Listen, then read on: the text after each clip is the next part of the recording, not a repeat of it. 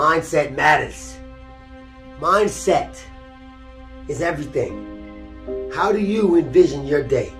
How do you envision your journey? Is your mind set up for success?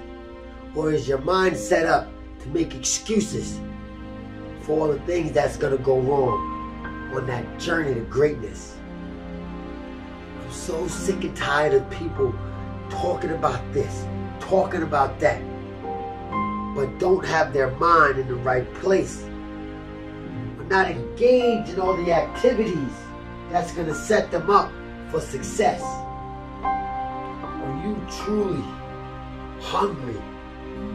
Are you willing to get battle tested in order for you to fulfill your greatness? I'm talking to you.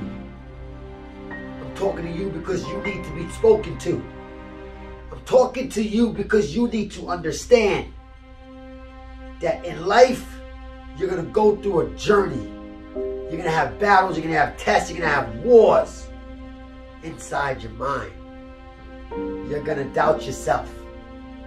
You're going to question whether you deserve what you want.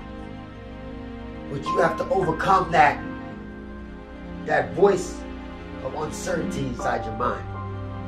You have to be willing to go the extra mile. You're gonna be have you're gonna have to be able to to look at yourself from the outside looking in. And you're gonna have to evaluate your situation and come to terms with what's going on in between your ears. Because the difference between the great ones and the average ones is not ability. The difference between the average and the great is what sits inside their mind, what sits inside their brain, what makes them tick.